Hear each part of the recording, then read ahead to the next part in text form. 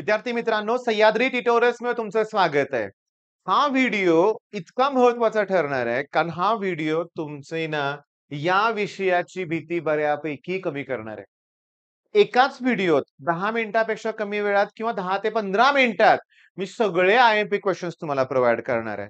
किंवा मी तुम्हाला शिकवणार आहे. मी बघतो ना प्रत्येक वेळेस ना मुलं मला आय एम पी क्वेश्चन मागतात. देतो मी. किंवा त्या गोष्टीमुळेच आपलं चॅनल ग्रो झालंय मी मान्य करतो की तुम्हाला आय एम पी क्वेश्चन्स मला माझ्याकडून हवे असतात. आणि गेली चार वर्ष काय झालंय माहितीये का? की जे आपण आय एम पी क्वेश्चन्स देतोय ना तेच येत आहेत परीक्षेत. मग मी देतोय म्हणूनच येत आहे असं काही नाहीये. मी पीवाय क्यू सांगतोय रे तुम्हाला. म्हणजे तुम्हाला मी काय शिकवणार आहे आजच्या व्हिडिओमध्ये? चला ठीक आहे त्याच्या अगोदर एक अनाउन्समेंट करतो.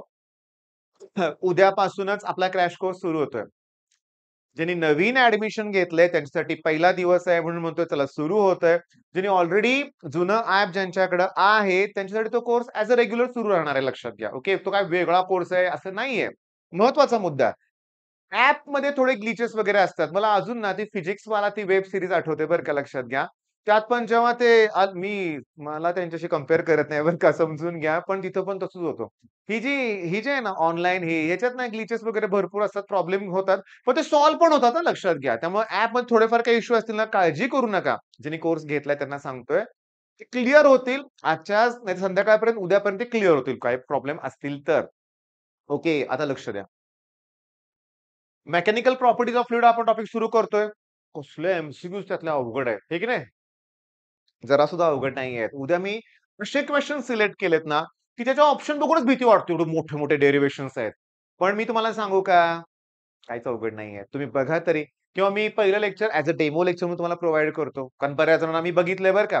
बऱ्याच मुलांनी कोर्स घेतलाय. आता नवीन आमचं जे काय आहे ऍप त्यात एक फीचर असं आहे की बाय नाव वर किती लोकांनी क्लिक केलं ते कळते कोर्स घेतलाय कितीनं. मग त्यात थोडासा डिफरन्स आहे. याचा अर्थ मुलं बाय नाव वर क्लिक करतायत आणि थोडासा विचार करतायत. घेऊ का नको? घेऊ का नको? थांबा वाटल्यास. ज्यांच्यावर ज्यांना माझ्यावर पूर्ण विश्वास आहे त्यांनी घेतलाय कोर्स त्यांचे मनापासून धन्यवाद. ज्यांना थोडी धाकधूक वाटते ना डेमो लेक्चर बघा. चार दिवस लावणार आहे मी मेकॅनिकल प्रॉपर्टीज ऑफ फ्लुइडला का? सात मार्काचा टॉपिक आहे. दुसरी गोष्ट फॉर्म्युले ट्विस्ट कसे करायचे कळणार आहे. तिसरी गोष्ट कॉन्फिडन्स वाढणार आहे.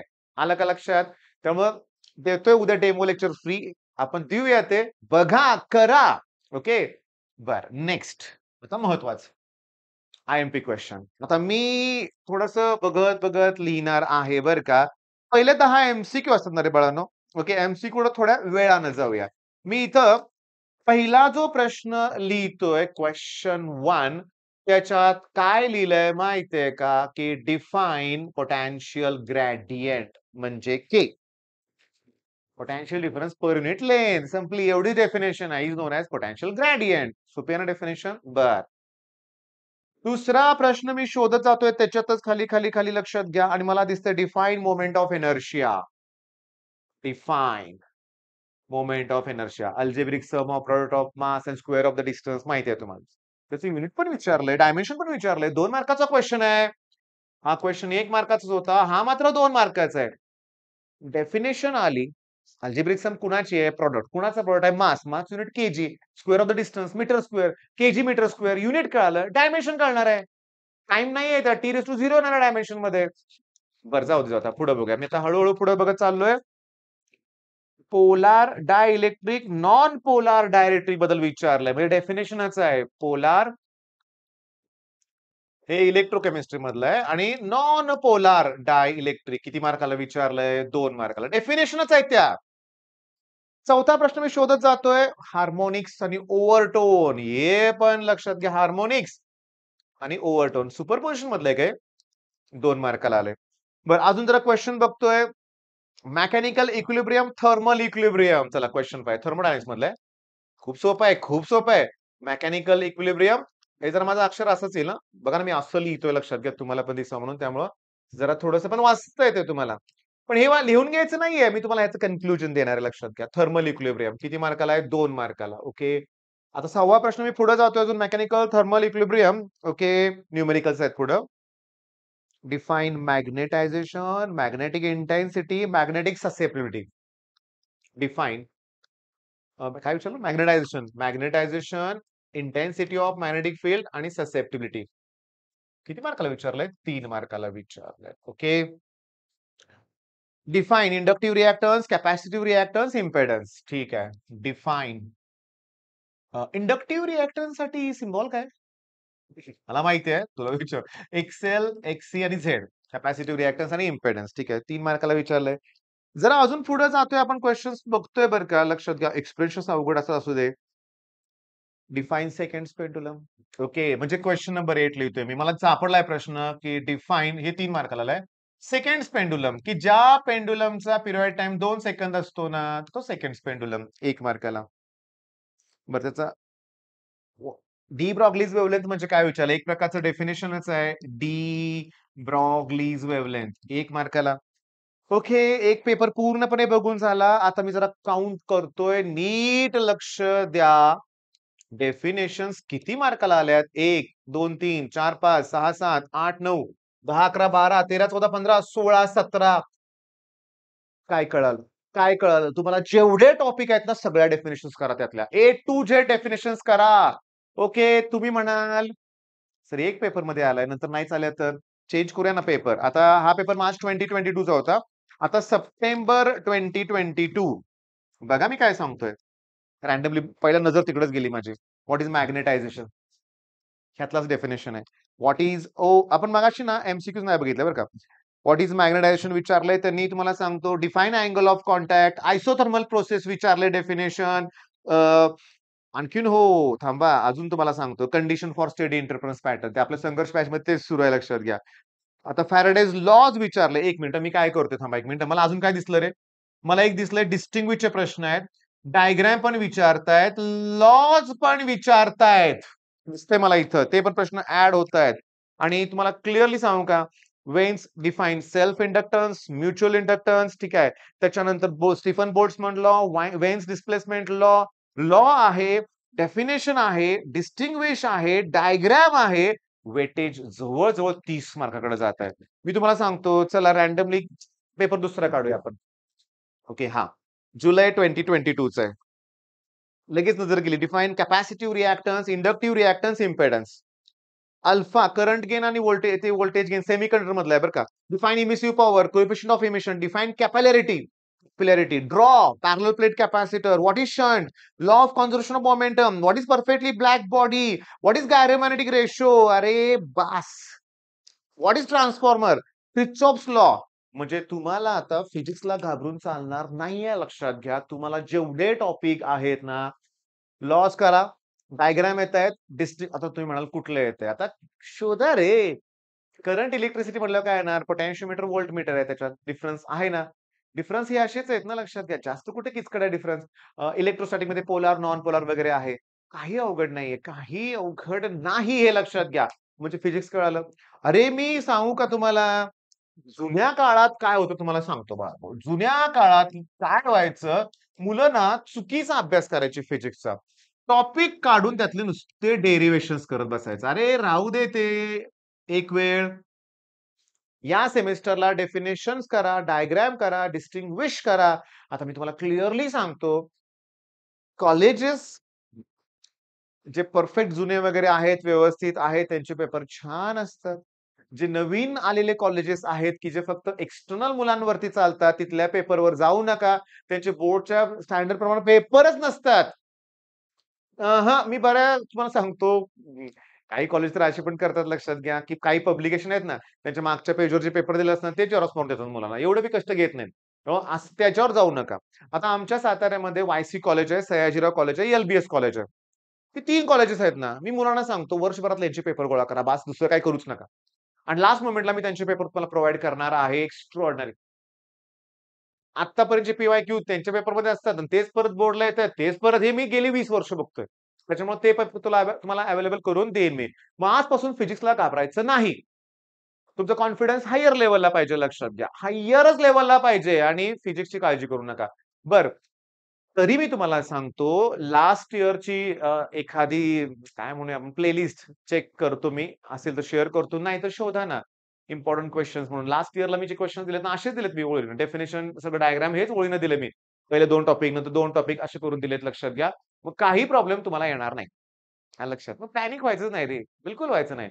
आता आता थोडस सांगू का तुम्हाला मी? खूप बोलायचं मला तुमच्याशी. आता माझ्याकडे नवीन ऍडमिशन्स यायला लागलेत. कोण आहेत माहिती का मुलं ही 11th स्टँडर्डची. फर्स्ट सेमिस्टर जवळ आले. रिक्वेस्ट करतात, "काही करून घ्या ना प्लीज दहा दिवस उरलेत परीक्षेला." त्यांना हळूहळू जाणीव व्हायला लागले की आपण नाही केला अभ्यास. जाणीव होते ना, चांगलं आहे. मग 11th स्टँडर्डच्या मुलांसाठी मला काहीतरी करायचं ओके. मी तुम्हाला सांगतो नक्की करेन. लवकर त्याची अनाउन्समेंट करेन मी. पण खरं सांगू का, तुम्ही बघा ना, तुम्ही आता 12th मध्ये आहे ना, 11वी आपली वाया गेली ना अक्षरशः. आपल्याला माहीत होतं, की 11th सिलेबस 12th आहे. तरी आपण काय करू शकलो नाही. मग ते जर केलं असतं तर हेच मला क्लिक झालंय लक्षात घ्या. हेच क्लिक झालंय मला आणि तो एक टर्निंग पॉईंट ठरणार आहे हजारो मुलांसाठी, की 11th मध्येच ना ते टॉपिक फिनिश करायचे. सीईटीचे 24चे 24 टॉपिक. कारण 12th मध्ये 12वीत 12वीचे टॉपिक होत नाहीत. त्यांना केव्हा हात लावणार आपण? असं होतंय ना? आलं का लक्षात? काही काळजी करू नका. मी असतंय ना, फक्त मी तुम्हाला काय सांगितलं? हा जो प्रकार आहे कुणाला मागत बसू नका. स्वतः डोकं वापरा. जुने प्रश्न बघायचे. पाच पेपर झालेत आतापर्यंत नवीन सिलॅबस तुमच्या सिलॅबसवर बोर्ड पॅटर्न जो बदललाय त्यानुसार पाच पेपर झालेत. बस ना. आता मी तुम्हाला सांगू का गंमत? थोडासा वेळ द्या मला. माझ्याकडे ते तीन पेपर उत्तम पब्लिकेशनमध्ये होते आणि थोडासा वेळ द्या बरं का मॅडम. जुना पेपर पण जुने पेपर पण आहेत बरं म्हणजे जुने सॉरी या वर्षीचे 2023 चे पेपर पण आहेत बरं का. मी थोडासा वेळ द्या. थोडासा मी बघतो इथं. ओके. फिजिक्सचा पेपर मिळाला. आपण व्ही-एस-एमध्ये जाऊ. Very short answer. Define potential gradient. अरे बघा ना. थांबा, थांबा, थांबा. मी एक्साइटेड झालो थोडंसं. डिफाइन पोटेन्शियल ग्रेडियंट तोच प्रश्न आहे. मग ज्यांनी मुलांनी हे 3 पेपर करून पेपरला गेले असतील त्यांना पहिलाच प्रश्न भेटायला मिळाला तो potential gradient, potential difference per unit length. Define gyromagnetic ratio 2 definition झाल्या. त्याच्यानंतर what is define inductive reactance capacitive reactance. Inductive reactance capacitive reactance. त्याच्यानंतर तुम्हाला सांगतो अजून अजून एक डेफिनेशन होती बरं का. Condition for steady interference pattern. एक नंबर. ओके. त्याच्यानंतर तुम्हाला सांगतो सेक्शन सी मध्ये सुद्धा डेफिनेशन वगैरे असतात लक्षात घ्या. लॉज वगैरे असतात. सेक्शन डी मध्ये सुद्धा असते लक्षात घ्या. Isothermal process, adiabatic process repeated आहे लक्षात घ्या. Fresnel diffraction, Fraunhofer diffraction. What is transformer आहेच. डिस्टिंग्विश बिटवीन पण आहे. डायग्राम नाही कुठली आली का? ओके. आता डेरिव्हेशनमध्ये डायग्राम असतातच की लक्षात घ्या. त्या डायग्रामला एक मार्क असतो. सिंपल पेंडुलमचा पिरियड टाइम तो माझा सगळ्यात चाललेला व्हिडिओ आहे बरं का. बरीच मुलं तो बघतात. परफेक्टली ब्लॅक बॉडी ड्रॉ करायची आहे. बस, बस. आता काय पाहिजे? काय पाहिजे सांगा बघू? मग हे दहा मिनिटं, 12 मिनिटं मी तुमच्यासमोर बोललोय. माझं काम मी केलंय. कॉन्फिडन्स मला वाढवायचं वाढवलंय अरे पण करणार कोण अभ्यास? केलं पाहिजे ना लक्षात घ्या. मी तुम्हाला क्लिअरली सांगतो. हा जो टाइम पिरियड आहे ना, ह्याच्यात अभ्यास न करणारी मुलं जे काय आहेत ना, ते नुसतंच दुसऱ्याला ब्लेम करत बसतात. क्लासमध्ये असंच झालं नाही, क्लासमध्ये हे झालं नाही, क्लासमध्ये ते झालं नाही. मी माझंच नाही सांगत. आता माझ्याकडे येतात ना ऍडमिशनला मुलं, की त्यांच्या क्लासला नावं ठेवत बसतात. "तुम्ही असंच केलं नाही, तसंच केलं मी ऐकून घेतो फक्त. पण मला माहिती आहे पुन्हाही मला पण नावं ठेवणार आहेत. बाहेर नावं ठेवून आल्यात. मला इथं पण नाव करायचंच नाहीये ना. ह्या टाईपची मुलं आहेत. दुसरी मुलं कशी आहेत, की ती माझ्यासारखी, की ती टेन्शन घेतात रे. त्यांना कोण सांगायलाच मिळत नाही, की बाबा हे असं कर, तसं कर, हे कर, ते कर. किंवा मी जो क्लास लावला होता ना, अरे ते काय दोन वर्षात ना काहीच कळालं नाही मला सिरियसली. काय ठराविक मुलांना आता गंमत सांगतो बरं का. मी ऑफलाईन मध्ये सगळं सांगितलंय. तुम्हाला सांगतो बरं का. माझं कोचिंग क्लासेस आहेत साताऱ्यात आणि या स्टेजला माझ्याकडे जे ॲडमिशन्स येतायत, जी मुलं, त्यांचे आई-वडील साताऱ्यातीलच म्हणूया आपण, ठीक आहे. मी ज्या क्लासला होतो त्याच क्लासला होते.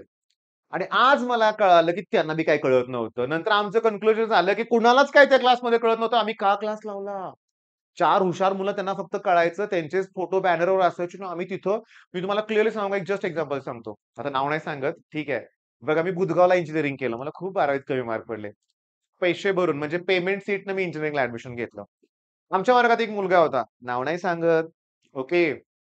पहिल्याच बेंचवर बसणार. क्लासमध्ये पण आमच्याच होता. पहिल्या बेंचवर बसणार आणि एकदम सिन्सिअर, अगदी इन शर्ट करून एकदम व्यवस्थित, नोट्स वगैरे छान सगळंच बरं का. सगळंच छान. आम्ही आणि आम आमच्याशी कधी 2 वर्षात बोलणार नाही. एकदम सिन्सिअर वेगळं राहणार. ते टॉपर्स ग्रुपमध्ये असणार. त्यांचं हाय लेव्हलचं डिस्कशन होणार क्लासमध्ये. "अरे हा पॉइंट तुला कळाला का? तो पॉइंट तुला कळाला का?" हे, ते, ते. आणि मी तुम्हाला गंमत सांगू का? एक तर महिनाभर माझं इंजिनिअरिंगचं ऍडमिशन झालंच नाही. मी तुम्हाला ते पण सांगणार आहे बरं का. मला राऊंड काय असतं माहितीच नव्हतं. पहिल्या राऊंडला ऍडमिशन मिळालं नाही. आम्ही आम्हाला वाटलं संपलं, आता मिळणारच नाही. पण सेकंड, थर्ड आमच्या चार चार राऊंड होते माहीत नव्हतं मला काय. झालं काय नंतर डोनेशन भरावं लागलं मला आणि डोनेशन भरून मी ऍडमिशन घेतलं. ओके. डेव्हलपमेंट फी काय असेल नाव गोंडस नाव म्हणूया आपण ठीक आहे. पण पहिल्याच दिवशी माझ्या क्लासमधला तो आमचा मी ज्याला टॉपर समजायचो, माझ्या क्लासचा टॉपर समजायचो, तिथे दिसला मला. अरे म्हणलं हे काय करते इथं? आणि तो माझ्यापासून लांब-लांब पळायला लागला बरं का लक्षात घ्या. पण संध्याकाळी पळतोय कुठं हॉस्टेलला रूमच्या दरबारच मी उभा होतो. म्हणलं इथं कुठं तू? किती मार्क पडले तुला? आणि शॉकिंगला सांगू का? माझ्यापेक्षा कमी मार्क पडले त्याला 12वीत. नुसता दिखावाच. म्हणजे दिखावे करणारे लोक खूप असतात लक्षात घ्या आणि ती नुसती ब्लेम गेम करत बसतात. आणि आपल्यासारखी मुलं असतात, की ज्यांना थोडंसं टेन्शन येतं. मग तुम्ही टेन्शन घेऊ नका. मी आहे. मी आज काय शिकवलं तुम्हाला? आय-एम-पी क्वेश्चन पाच पेपर फक्त करा रे. दुसरं कुणाला मागू नका आय-एम-पी क्वेश्चन हे झालेले पाच पेपर फक्त बघा बास. त्यातलंच मॅक्सिमम क्वेश्चन्स येणार आहेत. वेगळं येऊ शकत नाही रे बाळांनो, येऊ शकत नाही. पेपर हे ठराविक म्हणजे काय म्हणूया आपण डिफिकल्टी लेवल कॉन्स्टंट ठेवावे लागते हे लक्षात घ्या. ओके. आणि असल्या मुलांकडे दुर्लक्ष करा. तुमचे मित्र जे असं करत असतील त्यांना म्हणणार, "बाळा कर अभ्यास." किती वेळ ब्लेम करत असणार दुसऱ्यांना. ओके. मग आनंदी छान अभ्यास करायचा ऑल द बेस्ट.